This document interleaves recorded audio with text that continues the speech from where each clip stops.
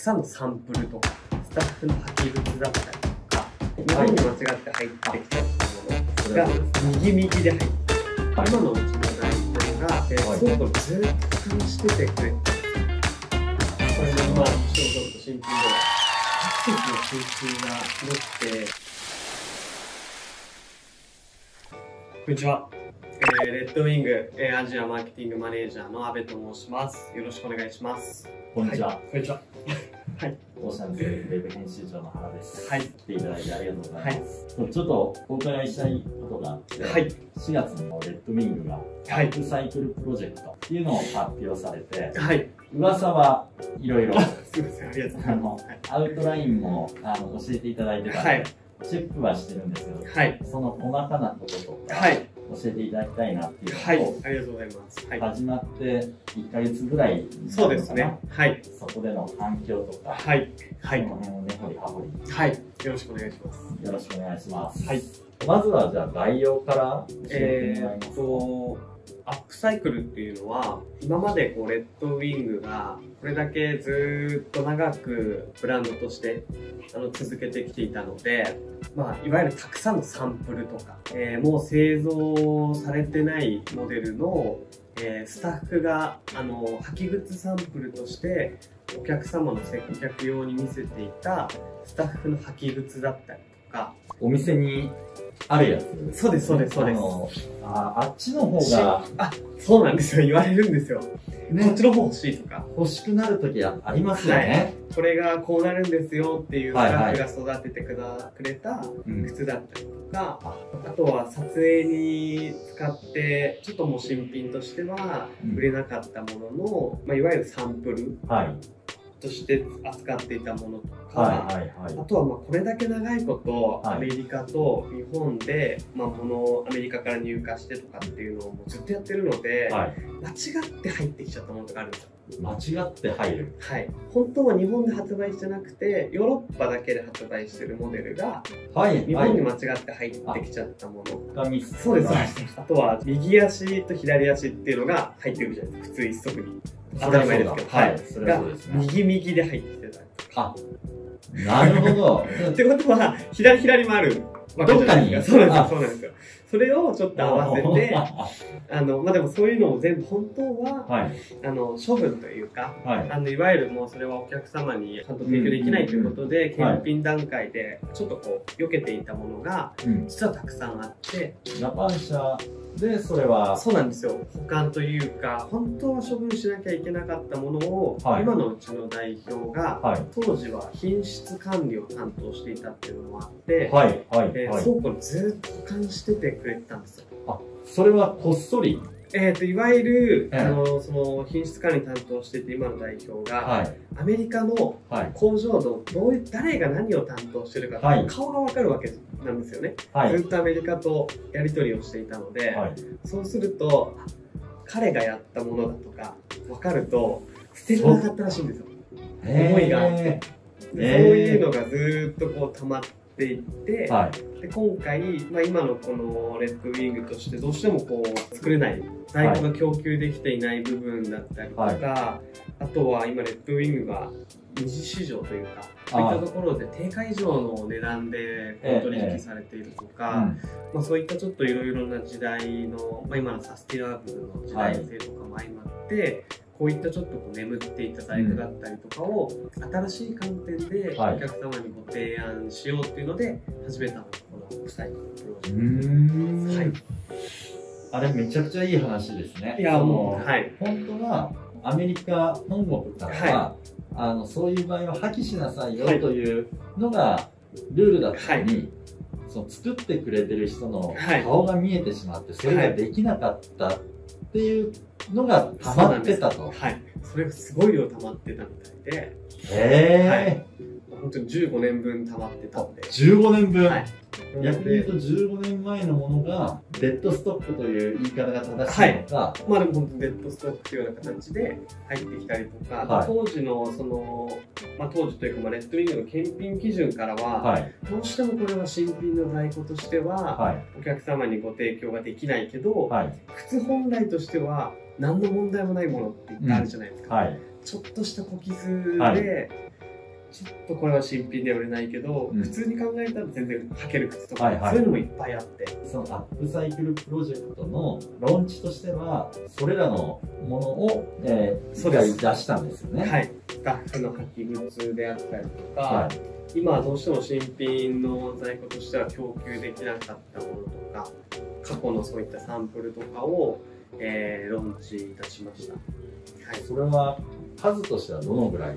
えー、と最初のローンチは20足おですね、はい、今現状だと20足分の19足がもうその日の2時間ぐらいで完売してしまって。そうなんですね。はい。ちなみに何を出したんですあもう本当にいろいろですね。いわゆるアイリッシュセッターだったりとか、はい。それこそエンジニアブーツだったりとかエンジニア。当時の何周年記念モデルの品番だったりとか、ほうほうほうほう。はい、本当にいろいろあはいそうなんですそうなんですよ。その手前にいたのが、あ結構ですねええ。これも今どうしてもちょっと新品では。はい。はい。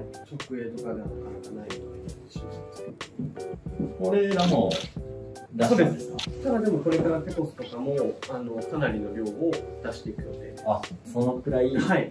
ちゃ溜まってるんですね。そうなんですそうなんですただうん。そうですね今回あの最初のローンチだったということで、はいすごくこうあの心待ちにしてくださったお客様が多かったということもあって、アクセスの集中がすごくて、はい。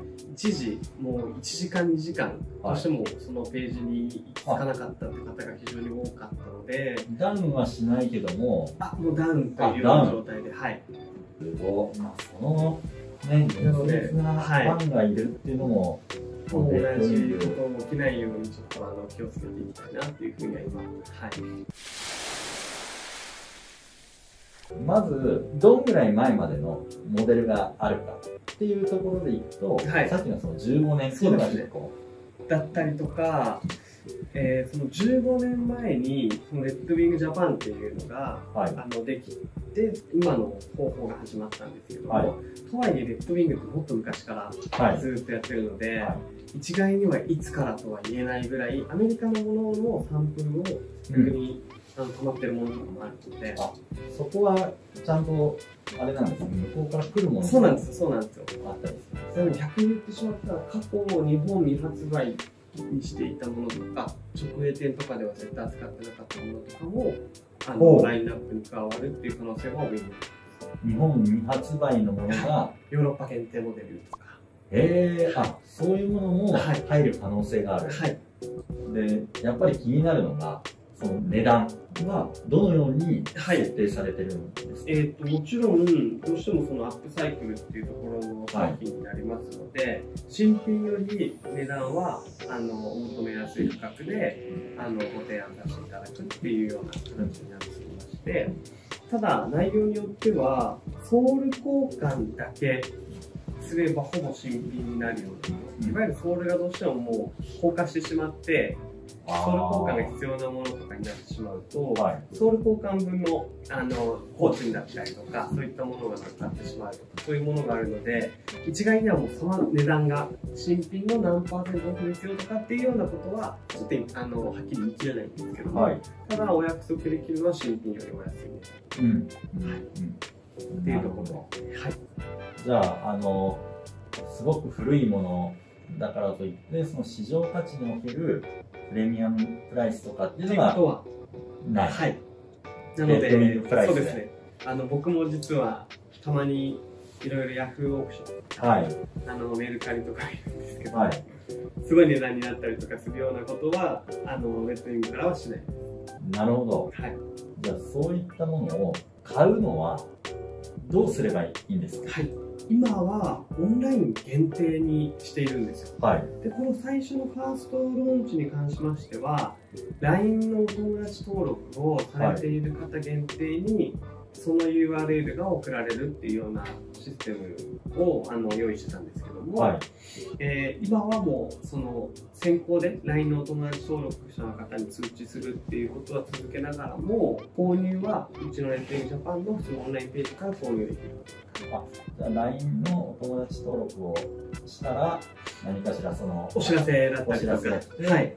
でそこから購入とそうです今回に関しては最初のローンチの20品番はいこれがアップされますっていうのを前日にえーお知らせをして、はい。その次の日、当日に購入まで行ける、はい。えー URL は LINE からしかお知らせいかないようにしてた。これはまたはい。あの、いろんな防止スタッフも含めてはい。だったんですけども、ええ。それでもやっぱりアクセスが集中してそうなんですよ。それでも耐えれなくてっていうところだったんです。そうすると、サイズ展開、例えばはい。エンジニアであったら、はい。その20型のうちの一一つになるんはいですね。どんぐそうなんですよらいの、ええサイズレンジがあるんですか？バラバラです。バラバラ。はい。小さいものだと6とか、一番人気なサイズで言われる8ハーフ9とか、はそういったサイズもありますし、はい逆に10とか、少し大きいサイズ。一番大きいものだったらもしかしたら13とか。おおレッドウィング自体はそのぐらい13まであるんはい、サイズまであるので、ー。はい。ただサイズが多分8、8ハーフ9とかがやっぱサンプルとかに使われるサイズとして多いところなので、えいわゆるその辺のサイズが多くなるのは間違いはないんですけども、えはい。そのサイズバランスも一応考えながら、はい、あの商品アップしていきたいなっていうふうに。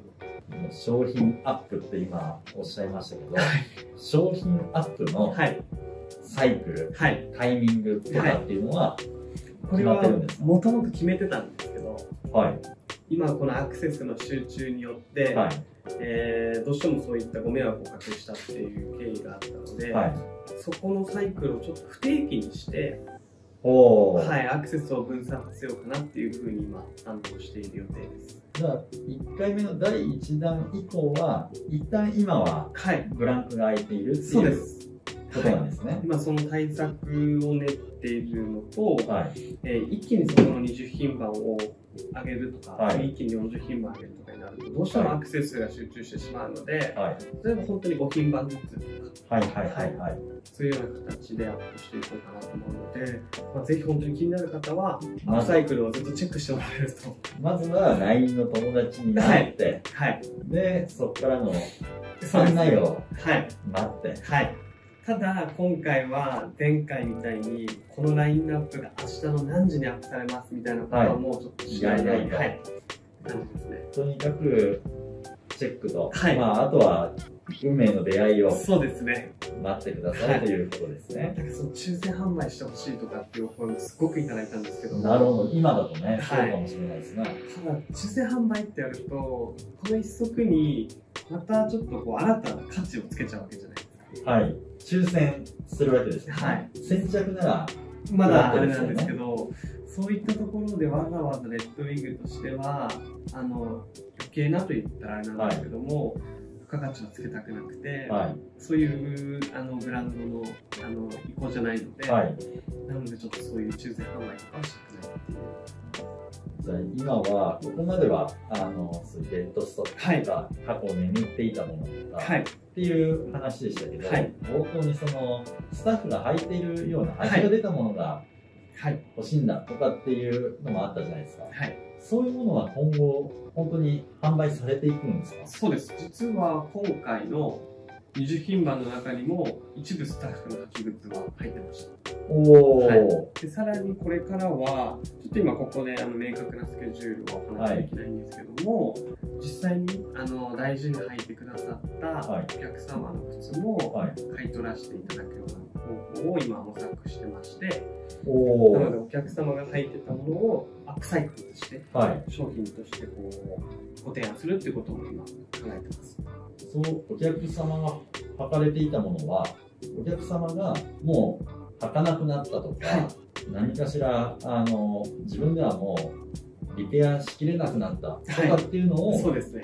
あの、レッドウィングに持っていくと、はい。それをちゃんと修繕をして、そうです。あの適切なケアを施してはい。えーリペアが必要であればそこをしっかり直すところを直してはい。アップサイクルしてあの販売するっていう。おーえ、それは買い取ってくれるってことですか？そうです。はい。ただ買い取り方法だったりとか、はそういったところは今本当に詳細詰めている段階なので、はい。ちょっと具体的なところはちょっとお話しできないんですけども一応今そういったところをあの詰めている段階です、でも、こういうことが、その買い取り方法とか、そういう運用のところは課題はあるかもしれないけれど、はいそのプロダクトとしてどんなものでも修繕していける。ですね。はい、もうあのまさに今あの原さんがおっしゃってくださった通りなんですけども、レッドウィングそもそも修理前提に作られてる靴なので、うんうんそれができるんじゃないのかなっていうふうに、そうか。はい、大きくは昔から形も変わってそうなんですよ。なので本当にこの工具も交換するだけで、スニーカーとかだとなかなかそれが難しいじゃないですか。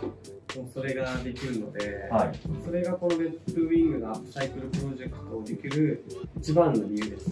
修理ができる。確はい、修理がしやすいっていう。そうですね。はい。本来はずっとアップサイクルをしてはい続けるそうなんですよ。ためにしてたと。はい。短いペアとか、はい修理に出すっていうことをちょっと身近に感じてもらって、はいなかなか今こう在庫が供給できない時代だからこそ、はいお持ちの一足長く入ってくださいっていう意味も込めてなるほど。はい素晴らしい。ます。はい。その、まあ、じゃあ誰かお客様からまた新しいお客様にっていうそうですね。つながりも出てくるってことですね。それは何かあるんですか？このちゃんとレッドウィングが認めたリペアしたものですよっていう。そうなんですよ。あのまさに、そうですね。これちょっと今、そのサンプルとしてお持ちしたんですけど、アップサイクルの公式で販売されたものは、ここにスタンプがはい。確認されるのと、はい。ここにあ、刻印もしっかりと入っています。あ、そういうのがあるんだ。はい。だからあの、よくわからないところで、はい。補修したものを、はいこれアップサイクルのなんですよっていうここととにははならない。ならない。はい。あ、なるほど、はいこれも。あるね、あの、ユーザーからするとやっぱりオフィシャルのものがは良かったりしますからちね。ゃんとオフィシャルの、えーものとして、こういったあの提案をさせていただいて。はなるほど、抜け目ない。い。いや、ありがとうございます。そういうことなんですね。では、先ほどのそのユーザーの方が持っていくと引き取っていただけるっていう、はい。まあ、そのあたりは、現状、どう、いつからとかっていうのは、えっ、と、今実はですね、そこのスケジュールっていうのが、正確にはお伝えできないんですけども、はいどういう方法を用いるかっていうのは、それも新たにこう LINE の使ってあのやっていこうかなっていうふうには今思っているところです。やっぱり LINE であったり、SNS であったり、はい。そのコミュニティに入っている中での、はい。その、なん、なんですか、査定っていうんですか、それは。そうなんですよ。あの、全部を送ってもらってとかになると、はいあの、お客様に対するその送料の負担だったりとか、まあ、あの、やりとりの、あれが生まれるじゃないですか、はい家庭が。はい。ただ、LINE で事前にこう写真とかを撮って、はい。まあ、あの指定の箇所、はい何箇所かの写真を送ってもらって、事前にそれが修理できたアップサイクルに商品としていけるものかいけないものを事前に判断することを踏まえて LINE でやっていまおーあ、そこは心眼の鑑定も。そうです、そうです、そうです。あの、言ってしまったら、せっかく送ってくださったブーツが、はい。これはちょっとさすがにもう難しいとか、この穴はどうしても塞ぎきれないとか、はい。としてちょっともうかなりのダメージを負っているものを次アップサイクルに提案するって難しいっていう判断をえ届いてから判断してお戻しするってなるとえ。まあ、そこのタイムラインと、もったいない時間もできおてしまうの、ので、はい。なるべくそうならないように事前に LINE を通じて写真で判断するようなことをすればおお客様にとっても手ー間にならないんじゃないかなっていうふうに今思っていて。今、その、心眼っていう意味では、はい。本物か偽物かはいっていうのは、はい。そこもちゃんと、あそうです。なので指定のこの部分の場所を必ず写真撮ってお送ってくださいねみーたいな、はい、形にしようかなっていす。ごい。はい。じゃあそこもじゃあ、ちゃんと、そうレですね。ッドウィングが認めたものは、はい。必ず正しいものだと。そうです。おー、あとあの気になるのが、もう新品はまだしも誰かのやつ、まあ、受け継ぐものっていうふうになった時に、そのフィッティングとかっていうのは、そこはどういうふうに判断してもらう？そうですね。やっぱりこう新品なもののあのフィッティングっていうのははい。こう自分の足の形にこう合わせてこう沈んでいくじゃないですか。なんかでもそれってこう古着の価値観と本当に一緒で、もう洗って縮んだデニムとかうんうん。を自分のサイズで合わせたりとかはいっていう価値観とすごく近いのかなと思っていて、はい試着はできないんですけど、レッドウィングってとはいえそんなに形崩れないんですよ。はいデニムのそのさっき今話した価値観だともう縮んでるから、はい。採寸細かく見ないと、はい。あのウエスト32の表記でも、はい。めっちゃ縮んでって全然ちっちゃくなってるとかあるじゃないですか。えレッドウィングはほとんどそれがなないので、しっかりオフィシャルのケアとその修理を施したものであれば、はい。通常レッドウィングでサイズ8を履いてる方であれば、えアップサイクルでも8で問題ない。え大丈夫。はい。っておいうようなとーころですね。じゃあそこは自分のこれまでの合うサイズを選んでいけばそうですね。大丈夫ですはい。とわかりました。じゃあ安心して参加できそうな。そうですね。オフィシャルとして僕たちがそのご提案できるっていうところなので、はい。ここはしっかりとしたケアとリペアを施したものが、はい商品ラインナップとして展開しているので、これははい。世界でやってるプロジェクトですか？あ、実は日本が初めてなんです、あレッドウィングの。日本が初めてジャパンが初めての試みで、はいこれから、えーレッドウィンググローバルに展開していくので。あむしろ日本発信なんですねそうなんですよ。あはい。それも嬉しいですねはい。そうですねきその起点がもともと生産管理やられてた現代。表がはい。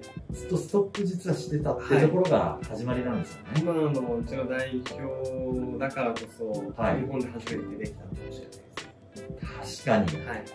それはあるかもしれない。にいろんな必然がそうですね。ねえわかりました、はい。じゃあアップサイクルプロジェクト、これは安心して、はい、ぜひ。ええはい参加できそうだなと思います、はい。そして次の予定はって聞いても何も言わないんですもんねそうですね。入荷ありますか？はい。こっそりちょっと、あの、ここじゃないところで聞いてください。どうせ教えてもらえないと思いますけどはい、じゃあ今回はありがとうございましたはい、ありがとうございます。はーい